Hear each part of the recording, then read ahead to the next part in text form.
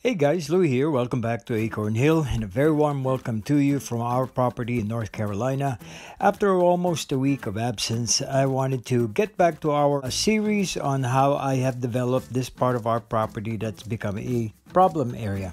I posted a vlog on this in the past, and one involved me developing and planning out where exactly we will be placing several garden beds. Garden beds for a mixed perennial border, and garden beds, raised garden beds for vegetables.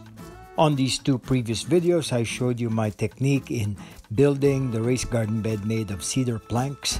The joinery, uh, not only for looks but also for stability for any raised garden bed with the cedar fencing planks that I used.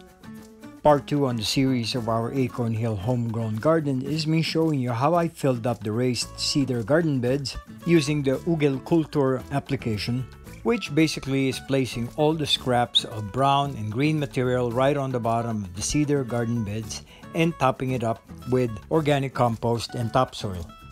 And so, after two weeks of on and off work and building, planning, and placing all these planks of wood, all these cedar planks, all the lumber, and every concrete mold, I now have this area that we were able to develop as the non problematic area any longer pretty much we have a very linear plan. Uh, we have two square raised garden beds. Those square raised garden beds are obviously the ones along the front. The one on the left is planted with Swiss chard. The one on the right with the more opaque netting covering it is planted with five cabbages that are scheduled to grow pretty big. I'll give you a short update on these plants later on in the video.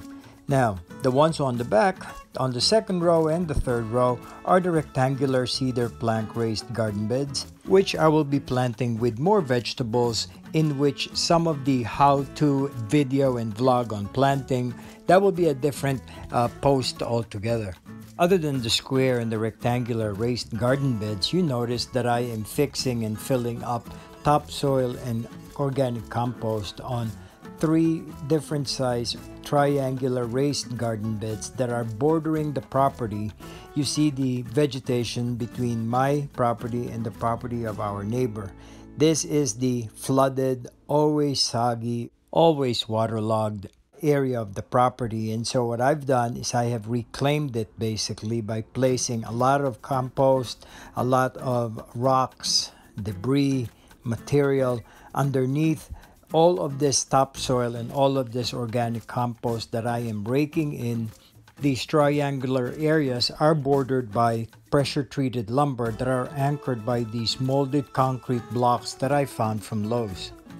Where I am finishing all of this topsoil and compost will be my mixed herbaceous perennial border and the middle triangle will be filled with shrubs and semi-woody perennials that will also have some texture and color right at that middle section um, when we do our update vlogs on them.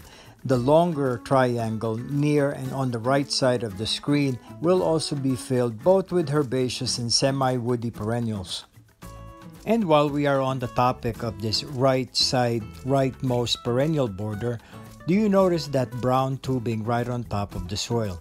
That's drip irrigation, which is basically also what I wanted to touch on today. I wanted to give you an idea on how I do my drip irrigation for these large perennial borders and how we will tap them so that we could get all of these drip systems into and onto the vegetable garden beds. When we first started our channel and started sharing our garden, a lot of you have wondered how I water all of these plants and all of these garden beds that we have developed in one year's time. The secret is drip irrigation, and I'd like to share with you what I have learned and what works for me so that you can apply it also.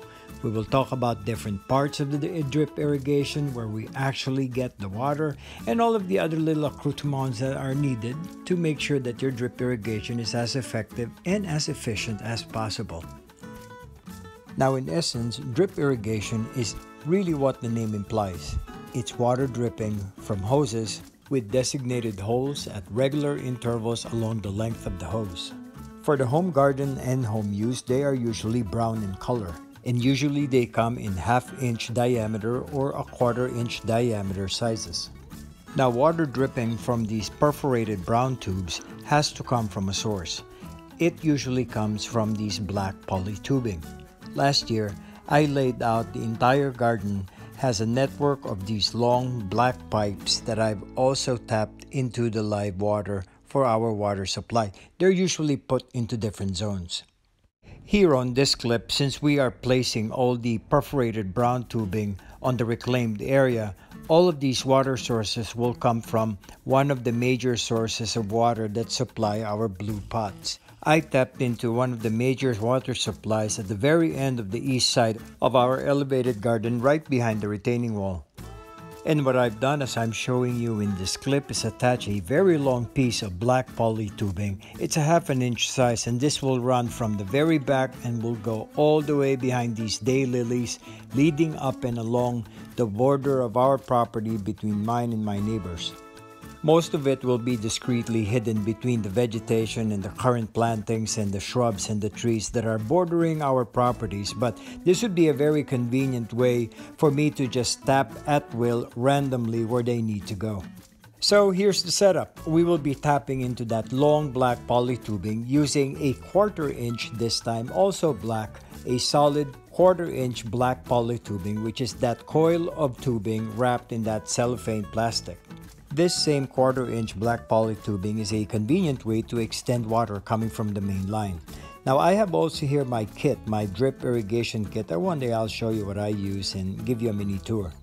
There's the PVC pipe in the ground already dug and um, wanted to use that as tunnel for the quarter inch black poly tubing. I think you get the idea here. What we're doing with all these smaller poly tubing is to connect all these raised garden beds with the water supply flowing from the half an inch poly tubing leading into the smaller quarter inch poly tubing. Once that's all laid out and protected underground, then the black quarter inch, the smaller poly tubing, will now have an open end right on top of the garden bed and that's where we will attach the brown tubing. What I'm doing here and I wanted to briefly show you is how I will pre-cut and customize the length of all these smaller poly tubing, the solid black tubing, to go through the PVC pipe. The PVC pipe containing the black poly tubing will lay underground and putting it through this PVC pipe will just keep it from getting kinked and damaged. This black poly tubing came from the side along the perimeter of this new elevated garden bed made up of pressure treated lumber and this pair of concrete blocks. Alright, so on ground level, I just showed you how I threaded the black poly tubing through the PVC pipe and this black poly tubing will go through this hole that I've also drilled underground. This is below level of that raised garden bed and it should thread through and come up the side of the garden bed all the way up to this hole right here on top of the dirt. And when the tip of that black poly tubing goes up and through, that would be the junction where we will attach the brown poly tubing using a coupler. And I'll show you what that looks like.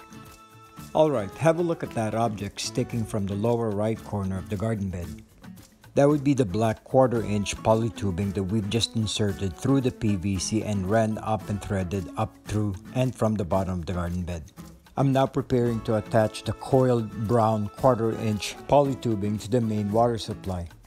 This brown polytubing has holes that are located every 6 inch interval and that would provide for more even watering as we by time and on demand water the garden beds. Here I've also opened up my water irrigation kit and has all the accessories needed in order to get this a customized fit for the top of the garden bed. This is a 3 by 3, 3 foot by 3 foot size garden bed. It's about a foot and a half tall. Connecting the brown and the black tubing is pretty simple. What I'm showing you is what's called a coupler and it's a straight coupler. It's uh, used to connect one end of a tubing to another end of another tubing regardless of color and that's what I'm doing here in this clip. The plan here is simple. It's a small garden bed and so what I'm trying to do is uh, put three rows of brown poly tubing and connect them on either side. When all is said and done, what I will end up having is a network of brown tubes right on top. But I also want the corners to be nice and finished. And so from each corner, what I will use is what's called an elbow coupler. It's called an elbow because it's a 90 degree L-shaped piece of plastic that has a hole that will divert the water at 90 degrees. After laying out the setup, what I did was water the garden bed so that the soil can be tamped down. And here's the finished setup for the layout of the drip irrigation. What ended up was me having three rows running up and down and then two rows that connect all the three rows horizontally. This is a simple setup and I wanted to show you all the different types of couplers per joint. There are four corners and two sections where I had to attach using a different coupler. Over here on the corner, this is where it is attached to the black poly tubing. This is the black poly tubing that we threaded through the PVC pipe. It carries live water and at the end of it, there is an L coupler attached to another small piece of black poly tubing. This is the L coupler right here. This is an elbow coupler. It's also called a barbed elbow coupler. It really fits snugly into the black poly tubing and prevents any drips. Now that small piece of black poly tubing now attaches to the brown with with drip holes at 6 inch intervals. It runs along the length of that garden bed and then makes a 90 degree turn and makes another 90 degree turn right at this juncture halfway down. It goes without saying that whenever this turns into a 90 degree, elbow couplers are being used. Now at this juncture, what we're using is what's called a T coupler has the ability to attach three individual tubes, either brown or black. This allows for better coverage, water supply, and extensibility, whatever type and whatever shape garden bed one works on. And here's yet another elbow coupler that I'm using at this corner of the garden bed. All the raised garden beds that I have built and will be planting vegetables in will have the same setup and application of drip irrigation.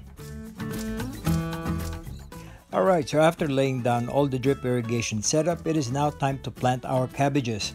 That square garden bed is where the cabbage starts will go, the ones that I started from seed. Now you may wonder why I'm showing you some cutout paper plates. What I'm doing here is I am uh, cutting up and customizing a paper collar that would go along the base of each cabbage plant. These cabbage starts or cabbage seedlings are very susceptible to cabbage fly. The second I start moving these cabbage seedlings, they can smell the aroma of the cabbage and they would start flying around and are known to lay their eggs right at the soil level. Now, when these eggs are formed, they're laid, they hatch. These caterpillars will now start boring themselves into the cabbage, and that's what's going to spoil the cabbage patch. Two more things before I start planting the cabbage seedlings. I'm putting in some lime on uh, the organic compost just to sweeten the soil. I was trying to go easy on the application of garden lime and for this type and this size garden bed it's just a half a cup to uh, three quarters of a cup. Then I scratched it up and I wanted to incorporate that right on top of the compost. I then got the cabbage seedlings and started digging a really deep hole uh, for these cabbages. They have long stalks and I want to make sure that when I plant them that they are deeply planted in these holes. I also am putting in some vegetable organic matter that I could get right down to the bottom. This would be the long-term feed for these very hungry plants. After pulling the soil back to cover the hole, I made sure that I tamped down the soil really firmly, really hard because these plants will grow very big and the expectation is they need to be settled into their planting spots. The other important thing apart from putting amendments onto the garden compost is I made sure that I hopped on top, right on the top of this garden bed and I started stepping on it firmly so that we could eliminate air pockets and make sure that every single soil surface is compacted, brassicas or cabbages or anything along their family, these are hungry plants and when they start growing, they become very big and the wind may topple them and the weight of the actual plant material could be so heavy enough that if they're not firmly planted, they could roll over or break a stem. And so this will help them a lot and they like firm soil. They like these roots to go down deep into their planting spot if they are firmed. And another planting insurance to doing this is firming them in well will prevent cabbage root fly to lay eggs in the soil around the stem.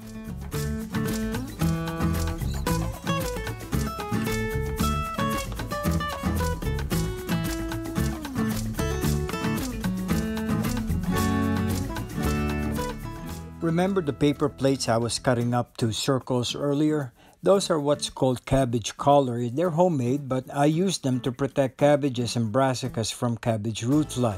It's a simple and efficient way to protect my spring, summer, and hopefully autumn greens from being attacked by cabbage fly. Cabbage root fly are a serious threat for brassicas such as this cabbage that I am planting because it weakens the plant and it will reduce the strength of the crop. Cabbage white caterpillars, whether large or small, can quickly destroy a crop of cabbage. And so, for extra insurance, further insurance, I'm trying to be very good at doing this by placing a net on top of these freshly planted cabbages. What I've done here is just buy me a regular window screening and uh, small enough that I could tack them onto the top and, and the edges of the garden bed taking steps to avoid any infestation by employing any of the number of the strategies that I explain in this blog will go a long way and hopefully it can ensure that my cabbages and other brassicas in the future will continue to grow and flourish and that I will get a big crop of harvest. So I'm looking forward to all the updates on how this will go along and definitely you'll be along for the ride. Thanks again guys for joining me on this video and I hope that you enjoyed some of the tips that I'm trying to impart and share with you in growing your own vegetables. Some of you may already be doing this and uh, I have been following a few folks online uh, regarding growing vegetables and I can tell you that growing vegetables is very elemental but it gives you a sense of satisfaction knowing that the food that you are now going to eat came from your own hard work, came from your land, came from any organic source. And in the end, when you eat it, you know that it is the best crop, the best produce you have eaten because it's the product of your hard work. If you happen to stumble on the channel, welcome to Acorn Hill. We are showing you right now Acorn Hill homegrown. These are produce and vegetables that I'm growing in my suburban garden here in central North Carolina. My name is Louie and hopefully we can see you back soon here on the channel. Bye bye for now.